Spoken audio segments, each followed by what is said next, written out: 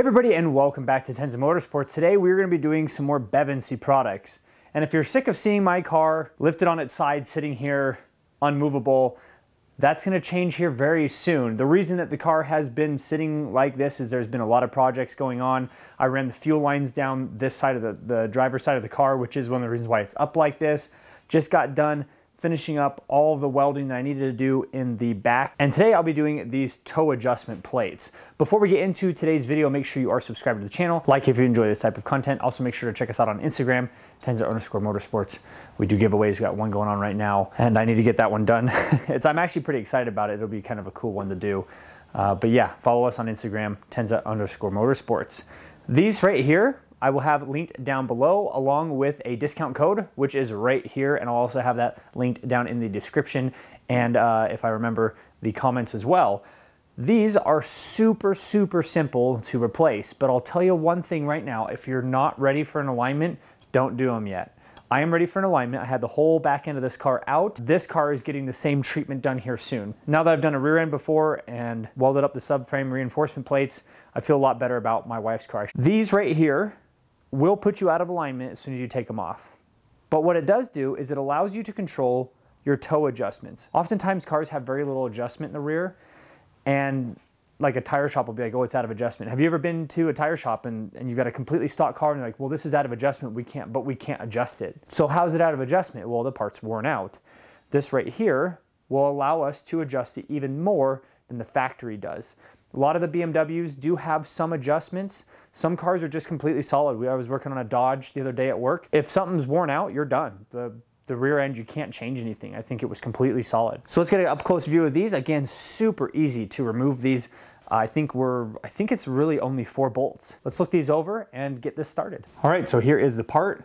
This is the rear toe adjustment. There'll be one on each side. One of the reasons that you can adjust it so much is this right here.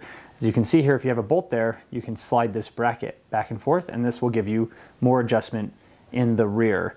Uh, really nice welds here, paint looks nice. It's just overall, it's really well made. And I'm excited to show you how easy these are to put on. Real quick, I'll just walk you through it.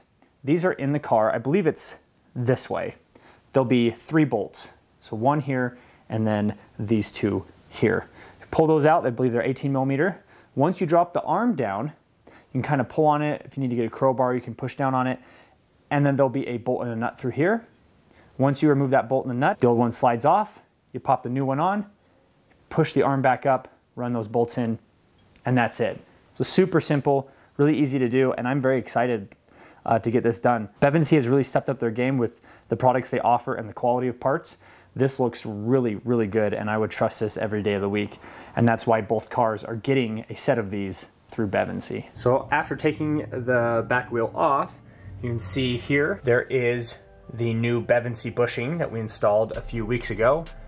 There is one of the bolts there, then there are two more right there. 18 millimeter, and these should come right out.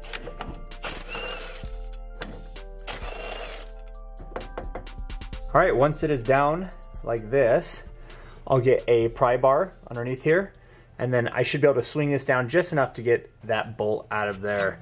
As you can see that bolt here. The nut is just right here. Um, I'm gonna need both hands to do this, so let me see if I can get the camera set up.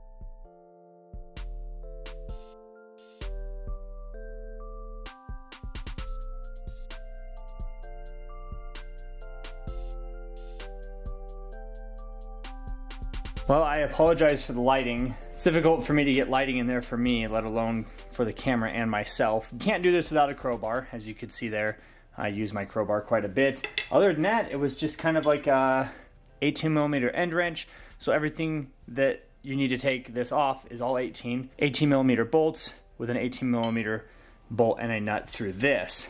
Now that I've got this one off, we'll put the new one on. You just make sure that the sides match up. And before we do that, you can just see how much more adjustment is in there. For those who are interested to know, it took me about six or seven minutes to get this one off. And that was with, you know, trying to work around the camera, where normally I would have my creeper that I'm laying on where the camera was. So that, that made it a little bit harder, but I'm gonna slip this one on there. Again, you'll pull that back down, slip this one on, and then just put everything back together.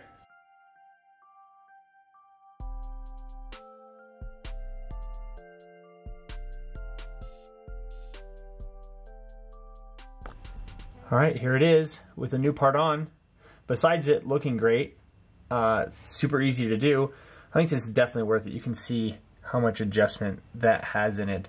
Now again, the OEM ones have adjustment. These just have a lot more. If you're doing a race car build like what we're doing, this is definitely a must. You need to be able to control your toe, your camber, which is coming soon, get camber from uh, as well. Uh, all that's coming soon, so you need to be able to completely control the rear end of this car. So I'm going to do the other side real quick here. But other than that, it's pretty simple video.